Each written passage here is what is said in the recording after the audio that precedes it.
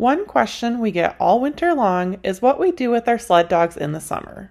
And while hiking, free play, and mental stimulation were a big part of the previous summers, this year we invested in a new adventure paddleboarding.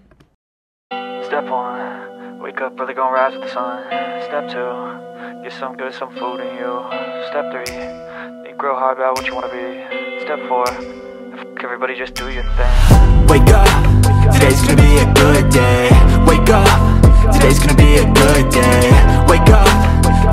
be a good day. Wake up, today's gonna be a good day. Wake up, today's gonna be a good day. Wake up, today's gonna be a good day.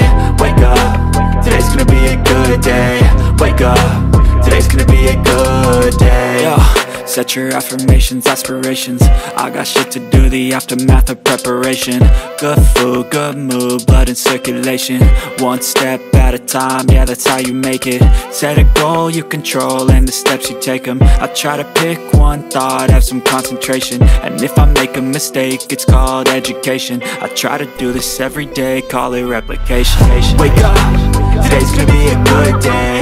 Wake up, today's gonna be a good day gonna be a good day. Wake up. Today's gonna be a good day. We want to give a big shout out to our sponsor, FirstMate Pet Food. Pet nutrition is simple. Whether you're feeding some working Siberian Huskies, or Greenland Huskies, or Alaskan Huskies, or you just have a great dog, FirstMate is the best kibble you can buy.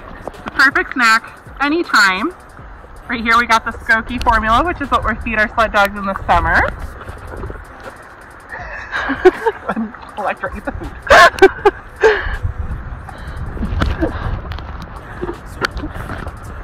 Always good for a morale booster when doing fun activities, huh, Miss Hill? If you want more information, feel free to message us anytime.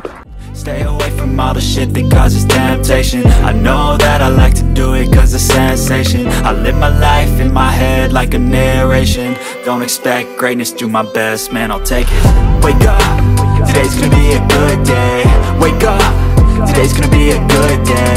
Wake up, today's gonna be a good day. Wake up, today's gonna be a good day. Wake up, today's gonna be a good day.